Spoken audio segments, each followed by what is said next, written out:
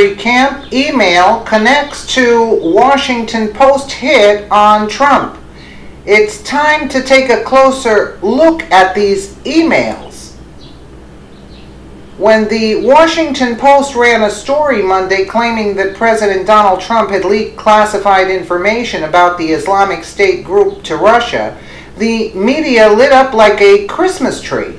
Finally, an exhausted Salon.com editor no doubt exclaimed to himself through a mouthful of organic uh, faux, here's the thing we can pretend to be outraged about for the next month.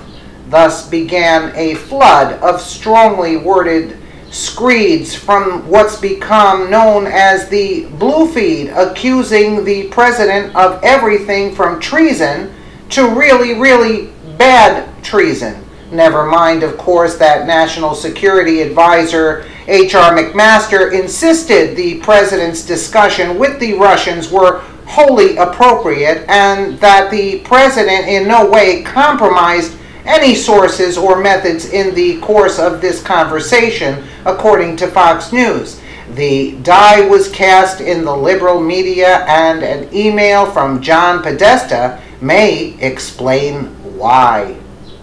As you know, the bulk of John Podesta's emails from his time with Hillary Clinton's campaign is now in the hands of WikiLeaks for um, certain reasons. Now, one of the messages he sent about how the left should try and capitalize on leakers is being re examined. WikiLeaks Podesta's email here. I'm definitely for making an example of a suspected leaker whether or not we have any real basis for it.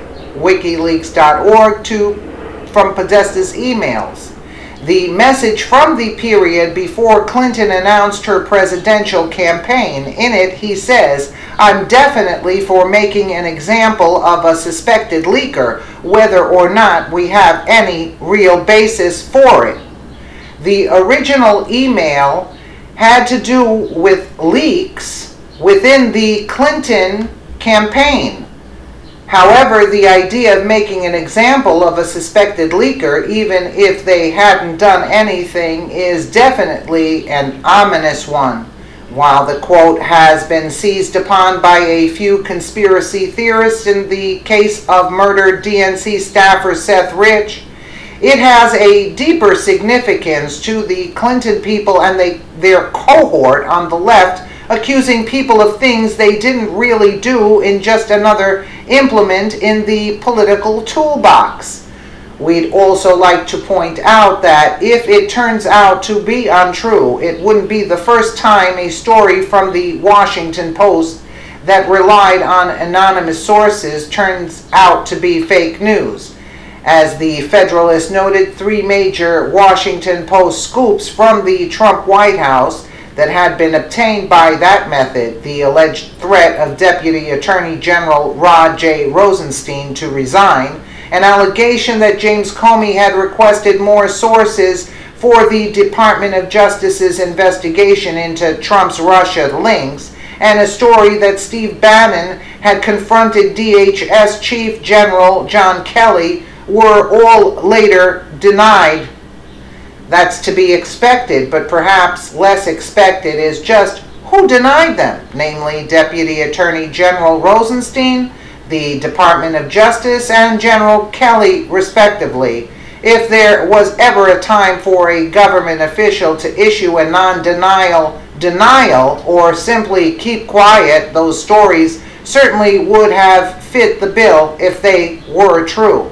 Either Trump is really good at making people lie in a very public fashion, or those rapscallion anonymous source types done did the media wrong again.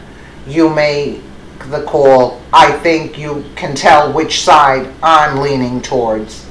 We don't know exactly what Trump said at the White House to his Russian visitors that puts us in the same boat as the denizens of the Washington Post and the rest of our nation's media establishment who are relying on the word of anonymous sources versus the word of the White House who insist that the premise of that Washington Post article is false.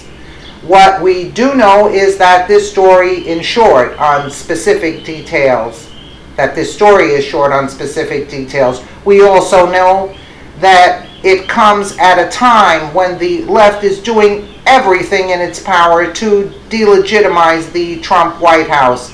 Given these factors, perhaps it's time to take a closer look at Podesta's thoughts on making an example of a suspected leaker.